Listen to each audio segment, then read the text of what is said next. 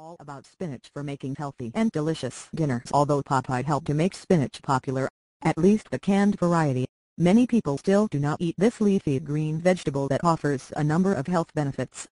The greenest spinach leaves are packed with the most nutrients like vitamins A, C, and K as well as carotenoids and flavonoids, which are essential antioxidants to help protect the body from serious diseases like cancer.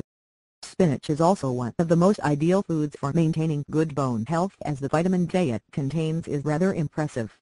The three most common types of spinach are Savoy, which has crisp, curly leaves, smooth leaf with its flat, spade-shaped leaves, and baby spinach, which offers a more delicate texture than the others do offer and is most popular in salads. Faring well in all temperate climates, Spinach is generally available all year round although harvests in September through October tend to offer the best flavor. There are an incredible number of foods, herbs, seasonings, and spices that pair wonderfully with spinach giving you a nearly endless number of ways to incorporate this beneficial vegetable into your diet. Some of the vegetables you might want to use with spinach include carrots, all types of peppers, tomatoes, and other leafy green veggies. Even fruits like oranges taste great with spinach. You can also use the greens with chives, leeks, mushrooms, olives, raisins, and soy to create interesting and mouth-watering dishes.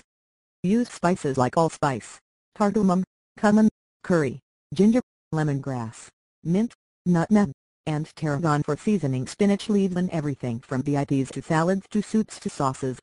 Besides the usual variety of salad dressings and olive oil with red wine vinegar, you can also use things like yogurt and sour cream for topping spinach.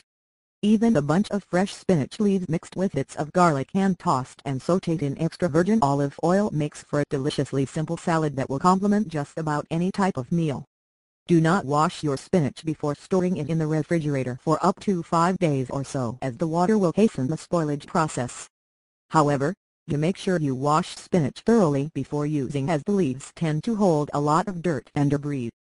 Garlic chicken and spinach soup recipe. What you need 2 tablespoons olive oil 1 medium onion, chopped to close garlic, dice 12 ounces fresh spinach leaves 1 pound chicken, cook, chopped 3 cups chicken broth 1 cup carrots, chopped salt and black pepper to taste 1 4th cup cream cheese. How to make it in a medium saucepan Sauté the chopped onions and the diced cloves of garlic for about 5 to 7 minutes or until the onions are soft and translucent. Add the spinach leaves and allow them to cook for about 5 minutes. Add in the cooked pieces of chicken, the chicken broth, the chopped carrots, and the salt and black pepper to taste. Simmer for 15 minutes over low to medium heat. Just before removing the garlic chicken and spinach soup from the heat stir in the cream cheese then serve while all about spinach for making healthy and delicious dinners although Popeye helped to make spinach popular, at least the canned variety, many people still do not eat this leafy green vegetable that offers a number of health benefits. The greenest spinach leaves are packed with the most nutrients like vitamins A, C,